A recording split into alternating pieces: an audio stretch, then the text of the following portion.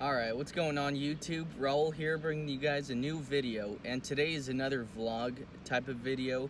I'm going to be going to San Jose. I'm going to be going to a record store there. I forgot the name of the record store, but it looks like a smaller version of Amoeba Music. This is more or less going to be the same type of video I made when I went to LA to go see Alice in Chains. I'm actually going to be going to a concert later tonight. Uh, there's going to be four bands playing. There's gonna. It's mostly a punk rock concert, honestly. Uh, but their Suicidal Tendencies is gonna play there. They're probably the only metal-ish band playing there. No, they are metal. They're crossover thrash. Um, Rancid. They're more in like in the skate punk. Pennywise as well.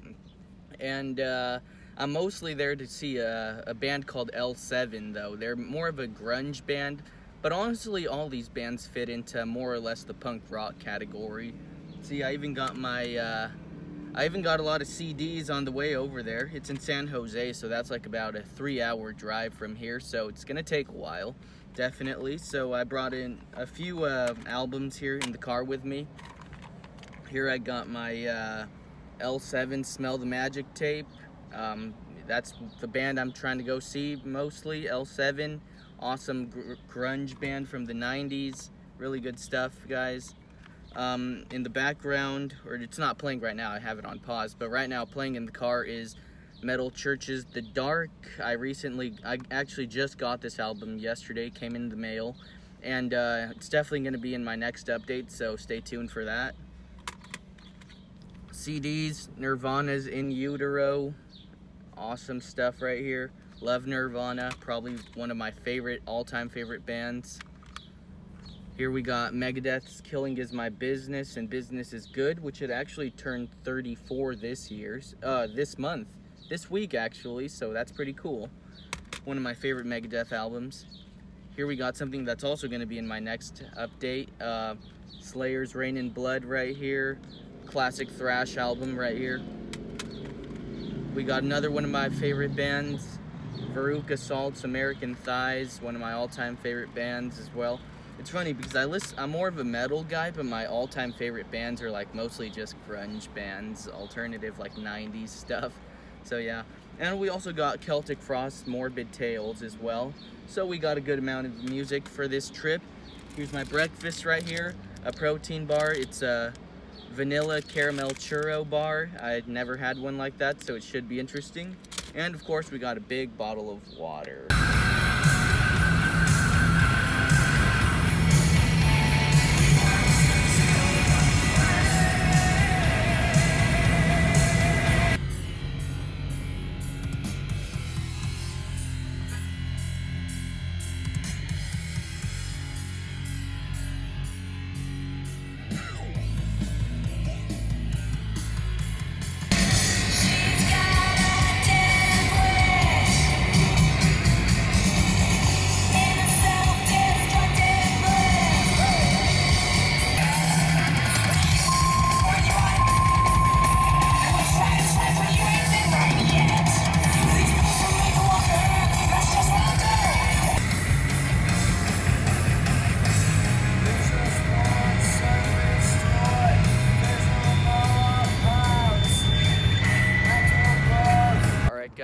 Outside of the record store. We're here in San Jose now. I uh, saw where the concert's gonna be. It's gonna be at the fairgrounds here.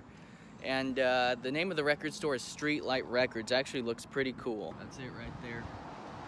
Streetlight Records. Looked cool from what I saw online. Alright, so this is the inside of the store. Looks like a smaller version of Amoeba Music, definitely. Looks pretty cool. Looks like a lot of stuff in here. I don't know what we might find.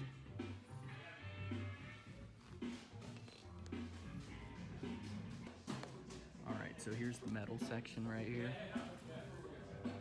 Leprosy.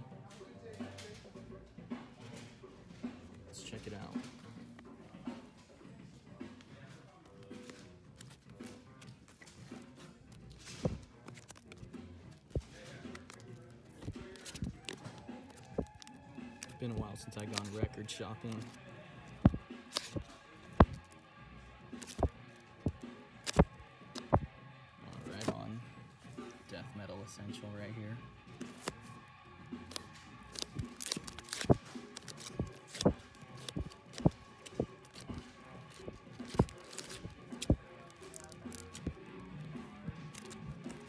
I might buy more than just metal, but for sure I gotta check out their metal section. But they got the new Amon Amarth right there. They just got a crazy good selection here. I may or may not get that Death Angel album, the new one. We'll see what's up because I know for sure I might just be able to pick it up like at my local FYE or Best Buy or something. So we'll see what's up.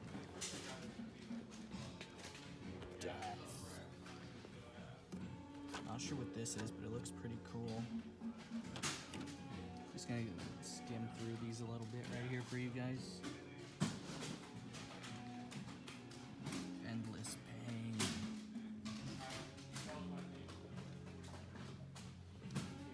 Iced Earth, a band I've heard of. It looks cool, but I've never actually listened to them. I might give them a shot later on.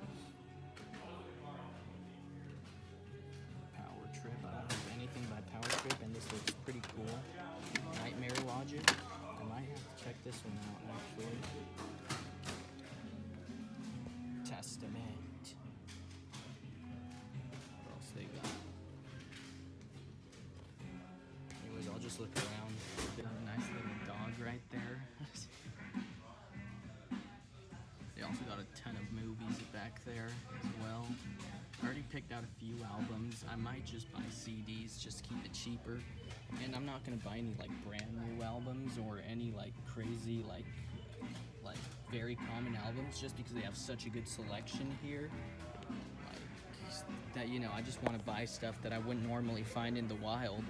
Like I already found like three albums that I normally wouldn't find like at FYE or places like that, and I'm pretty happy about that. Alright guys, I just got back from that record store, Streetlight Records, man. Awesome store, amazing selection. Like I was saying in there, I wasn't going to get any of like the more mainstream metal stuff or the newer stuff because I could just pick that up at my local record store or even FYE. I just wanted to get more obscure shit. Or not necessarily obscure obscure, but like just harder to find stuff out in the wild. Stuff I'd normally have to order online. So first album I picked up here, and it's all metal CDs by the way. I was gonna go look more around for like other genres, but I didn't really have that much time honestly. I got a show to catch uh, to catch later on. Anyways, uh, the first album I picked up is Emperor in the Nightside Eclipse. I've been looking for this album for a while. Uh, I know a few songs by them on this album, and I'm just glad I picked it up. This is a pretty well-known black metal album. I'm pretty glad I have it now. And it was all decently priced, you know. It's not like outrageously overpriced. It's not dirt cheap either, but you know, I figured since I'm here, I'll just spend the money, you know. It's not often I come into an awesome place like this. Here we got Candlemass's Epicus Metallicus Doomicus. Epicus Doomicus Metallicus, my bad. Uh, you know, I know a few songs by Candlemass, so this should be cool. And the last thing I picked up is Massacre's from Beyond. Yeah, I'm sorry, I don't all know all of these um, album names. I've only heard several songs off all these albums. Ugh, I can't talk right now. But anyways, guys, I'll see you guys at the show.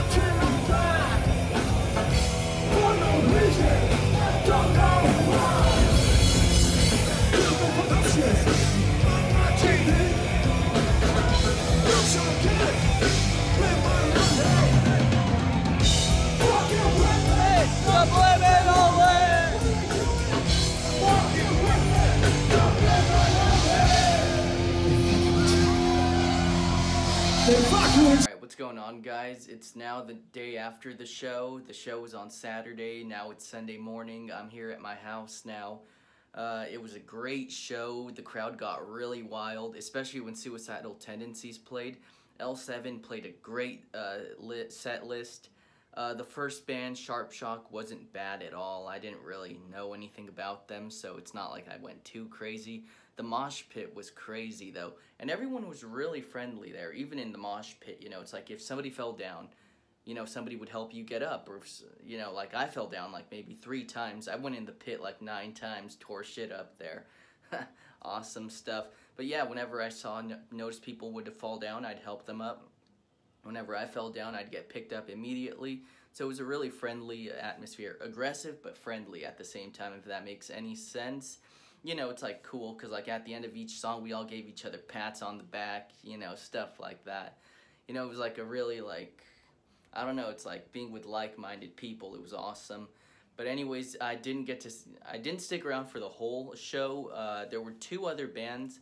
I saw the two bands I wanted to see, L7 and Suicidal Tendencies.